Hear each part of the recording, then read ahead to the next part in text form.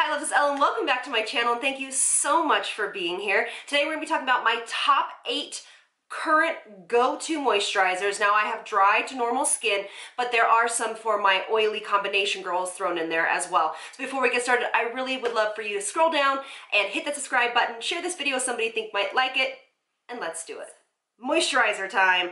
Um, literally, this is one of those that I get asked about a lot. Now, for me, a lot of these moisturizers are fantastic, but I have several that I use depending upon how my skin feels. So, A, let's start out with my first point you do not need to spend a ton of mo uh, money on moisturizers.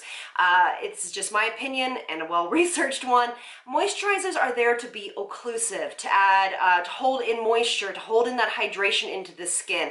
Um, a moisturizer is not going to do this revolutionary thing for you. So it's not going to be single-handedly um, the reason why pigmentation, you know, goes down. It's single-handedly not going to help heal your acne or heal your skin barrier. So please do not spend a ton of money on moisturizers. Yes, some of these moisturizers I use do cost more money than I'd like to spend but I will give you my reasons as we go through.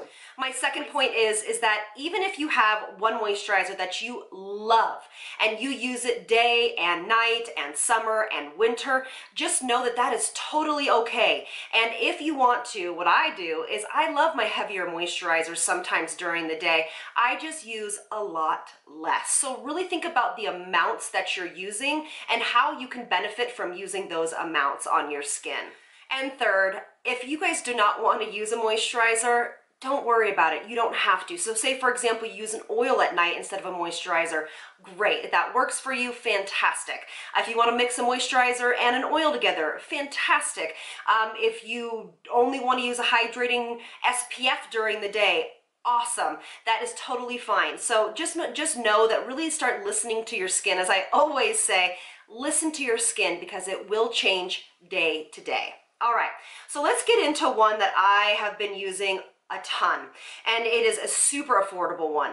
And this actually is perfect for all skin types especially as we go into summer. A lot of these are going to be very much this spring summer based skin. This is the good molecules silicone free priming moisturizer. You have heard me talk about this before.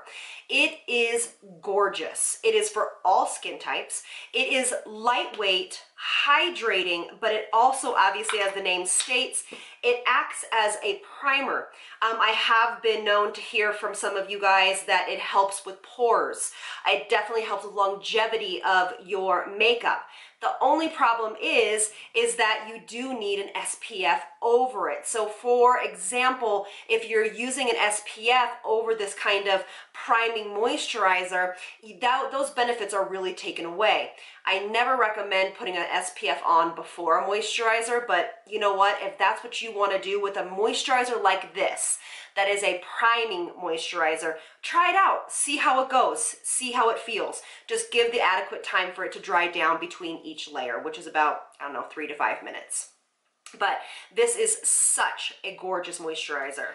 Um, and then I've talked a lot of these about, I've talked a ton about a lot, all of these. Um, but this Skinfix Barrier Lipid Peptide Cream is one I use when I'm feeling oversensitized. It is a heavier cream, um, but it is full of ceramides, uh, lipid protectors. It's really great for a damaged skin barrier or one that is sensitized or one that has been, you know, overexposed to sun. Um, it is a beautiful moisturizer that I have a tendency to use more at nighttime. I don't necessarily know if I would recommend this for oilier skin, but definitely for more of that dry to normal skin type. It is gorgeous. I love, you can use this a lot. A pump at the top, just like your drunk elephant, so it stays nice and fresh and sanitize as long as you clean off the top. Um, it has peptides in it. It has a seaweed hyaluronic acid, so that is a vegan hyaluronic acid. Um, and then it also has a skin lipid complex, which again is all about repairing that moisture barrier. So it's really great for sensitized skin, especially acne prone, things like that, because it has no fragrance, etc. And then this one I actually talked about a long time ago. I really don't find myself gravitating towards this, and the only reason why is because it's in my studio and not in my bathroom. I should probably bring it upstairs. Um, this is the Multibiotic um, from Inkey List. Now, this is full of probiotics. Again, this is going to be great for all skin types. If you're dehydrated, I would recommend to use a more hydrating SPF over it, but this is a probiotic moisturizer. Um, it is very quick to sink into the skin. It's light, it's airy, it goes on beautifully with all of my SPFs. The price point, obviously, you can't beat. Um, the ingredients are not bad at all, um, but it's just kind of tiny, but you don't need very much. And honestly, the skin feels very refreshed after you put it on. It is definitely oily skin approved, um, but it is for all skin types. This is just so lightweight and feels really good under makeup. I don't necessarily use this at night. Again, I like to kind of lather it up at night, you know, really put on that hydration. So this is more of that daytime moisturizer for me. This one is uh, one I use often. This is the Tatcha the Dewy Skin Cream. Um, I really, really enjoy this. It is definitely more for normal to dry to dehydrated skin. You can tell I've used so much. I need a new one. I love it. Um, you know, this is definitely not for your oilier skin or combination skin. I use this more at night or I use a little bit of it during the day. I just take like just the smallest amount that's on this tip. And I then tap it all over the face and I you know put it in and then I put on my SPF um, it is really uh, beautiful. I love that it has their Hadasei-3 complex in it so it has a lot of antioxidants in it. Um, it has basically their essence in it but it does leave the skin just almost ethereal looking absolutely i love to use it at night as well just the skin just when i wake up just looks so glowy ethereal beautiful luscious all right, now this one is from Milk. This is the Vegan Milk Moisturizer. Um, this is definitely a heavier cream. Um, obviously more normal to dry dehydrated skin. Um, it is something that I will use during the day-ish. I will more likely use this at night. It does play well under makeup. Again, just use a little bit less. Um, it does play well with SPF. Um, but this is definitely more of a hydrating moisturizer. The ingredients are really beautiful. Um, I think it's very well made. I just wish it came with some sort of spatula, but just make sure your hands are clean whenever you dip into any of these types of potted moisturizers. Um, but it is definitely on the heavier side. But it has like no scent to it, obviously, because there's no um, fragrance in any of this. It would be great for uh, really kind of uh, extremely dry skin that if you are a milk person, if you love this brand, they did a really nice job with this moisturizer. And then this one you saw me talk about. This is the brand new one from Farmacy. It's the Daily Greens. It's an oil-free gel moisturizer. Now, this is definitely more for my oily to combination normal skin. I can use this. It controls oil over the day. It has a, a lot of great kind of uh, skin loving ingredients in it and it is a it's like this lightweight barrier that you put on the skin.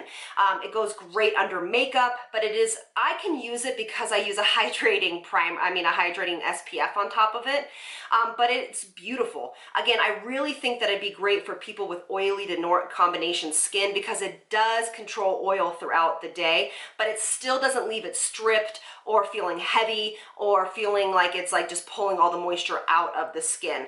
And again, it is that gel kind of base. It's very similar, but a, a little bit more like cleaner. It's very similar to the water cream from Tatcha. It has that same kind of feeling to it. All right, so for my last two, um, this is actually a brand that I don't know if you guys have ever heard of. I talked about a little bit. It's called Codex Beauty. Just so you know, their packaging is actually not plastic. So if you are really into green beauty and really thinking about sustainability, this brand is for you. They have a beautiful physical scrub as well, part of the line. Um, but this is their day cream. This is going to be great for all skin types except for extremely oily.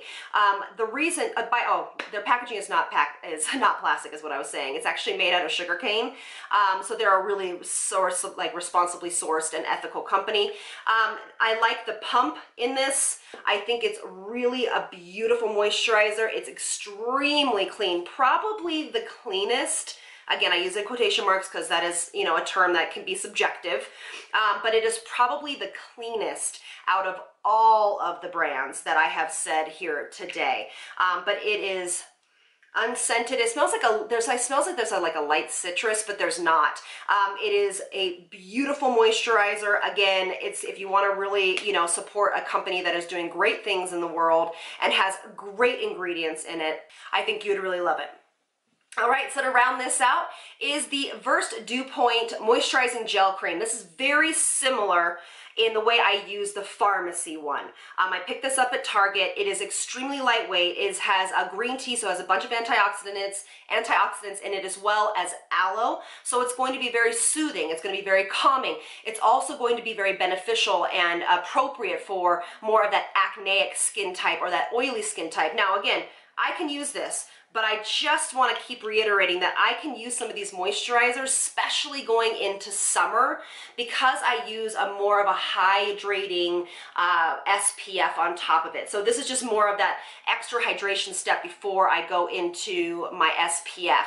Um, this sinks into the skin probably one of the quickest besides the um, priming moisturizer from Beauty uh, from Good Molecules.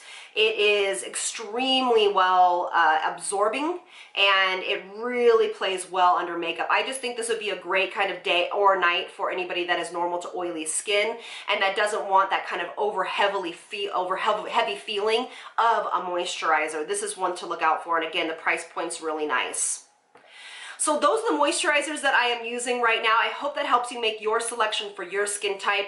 You know I like to talk about all skin types on my channel, um, but I tried to also go throughout all the price points to make sure that you knew, again, I do not advocate spending a ton of money on your moisturizers. Spend those money in those serums. That is where money is best spent. So thank you all so much for being here, and I will see you all in the next one. Lots of love from me to you. Bye, loves.